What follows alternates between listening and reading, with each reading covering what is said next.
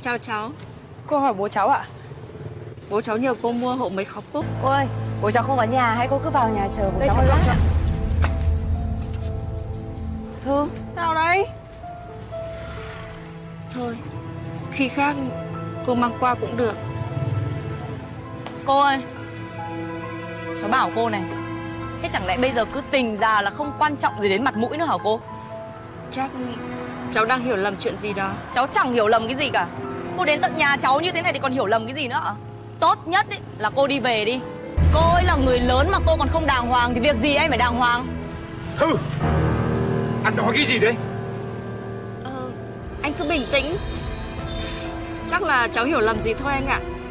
Mấy khóm cúc anh nhờ mua. Không thấy anh ra lấy nên tiện thể tôi mang qua đây cho anh.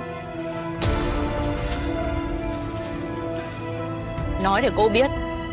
Nhà cháu không cần hoa của cô Chị em chúng cháu cũng không cần có thêm mẹ nữa Tốt nhất là đừng bao giờ cô đến đây nữa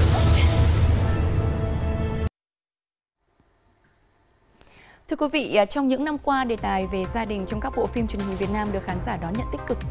Nhiều người nhận ra mình ở trong đó và trong đoạn trích vừa rồi cũng vậy. Không quá khó lý giải với những phản ứng tiêu cực khi mà biết cha mẹ mình tuổi cao, sống một mình đã lâu mà lại có một người bạn khác giới. Bởi hàng ngàn những băn khoăn, chăn trở đến với con cháu khi người ông, người bà hay là cha mẹ của mình thông báo về một mối quan hệ mới người ta vẫn cứ nghĩ rằng à, tình yêu không phân biệt tuổi tác, trình độ, thân phận và có thể dành cho tất cả mọi người. Nhưng liệu điều này có thực sự luôn đúng?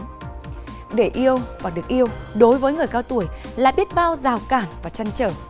Có nên yêu không là băn khoăn của không ít người cao tuổi khi đứng trước quyết định có nên tiến thêm một bước nữa trong đời sống hôn nhân, trong tình yêu của mình. Người cao tuổi đi tìm tình yêu chính là câu chuyện được bàn đến trong góc nhìn văn hóa hôm nay.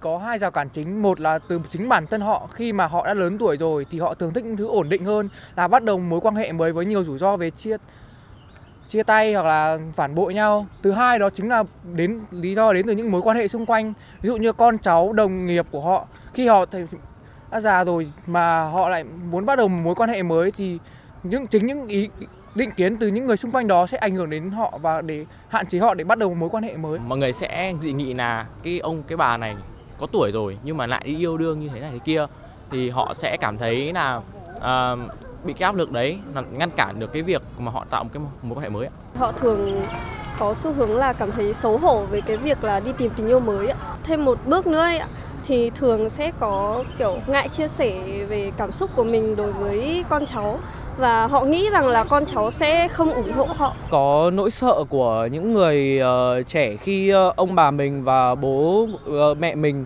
uh, san sẻ ờ, cái tình cảm dành cho mình ờ, với ờ, người khác Không phải ngẫu nhiên mà trong câu chuyện này chúng tôi lựa chọn phỏng vấn những người trẻ, thế hệ con cháu của người cao tuổi. Với một xã hội mà giá trị gia đình được đề cao thì chính những người thân yêu lại vô tình trở thành lực cản lớn nhất của người cao tuổi trong hành trình tìm kiếm hạnh phúc tuổi xế chiều. Bởi à, có thể họ lo lắng rằng cha mẹ mình sẽ khổ hay vất vả khi bước vào một mối quan hệ mới. Cũng có thể họ ích kỷ, chỉ mong muốn cha mẹ là của riêng mình, sợ phải chia sẻ tình yêu thương với những người khác nữa. Nhưng liệu họ có biết rằng với người cao tuổi ngày nay chỉ yêu thương chăm sóc con cháu thôi là chưa đủ. con chăm cha thì không thể bằng bà chăm ông thật. Bởi vì sao? Con có yêu thương mấy con như chuyện nó thuộc về lĩnh vực tinh thần tình cảm. Không thể bằng người già chia sẻ với nhau được. Thế hệ trẻ bây giờ nó tiến bộ nhiều rồi.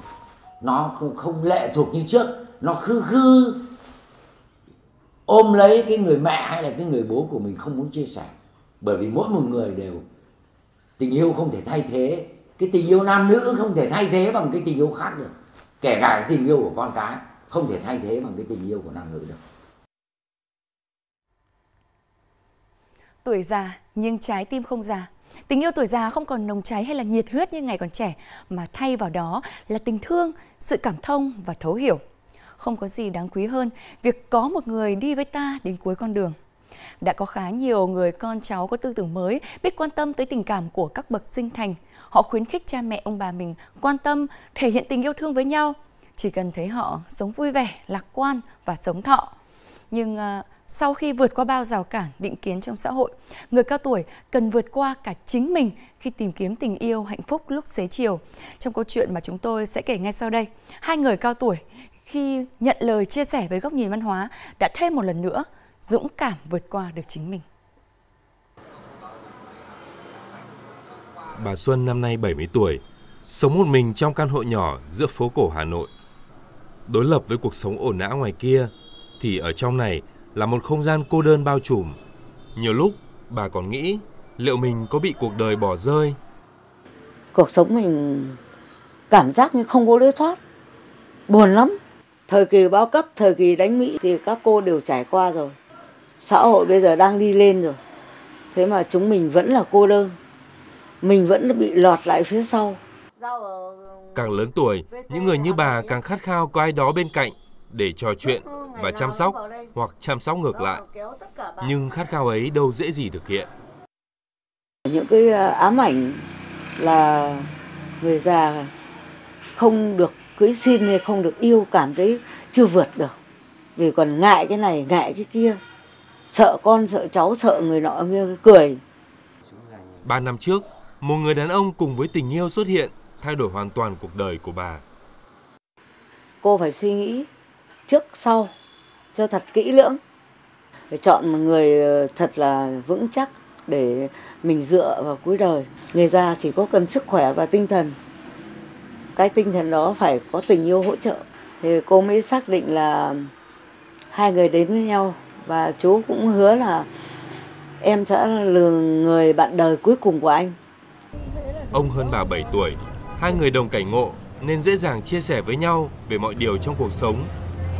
Kể từ đó, cuộc đời bà bớt cô đơn và nói như ông thì ông đã đưa thanh xuân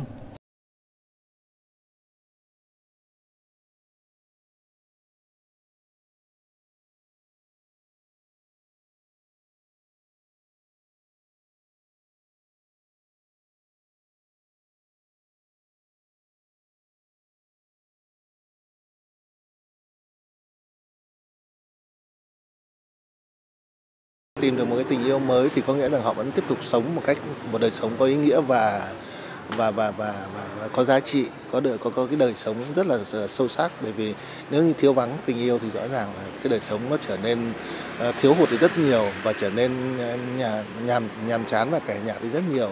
Đó là món quà của thượng đế của, của tạo hóa ban cho con người thì vì lẽ gì mà chúng ta lại khước từ nó? Vâng, giữa cuộc sống hiện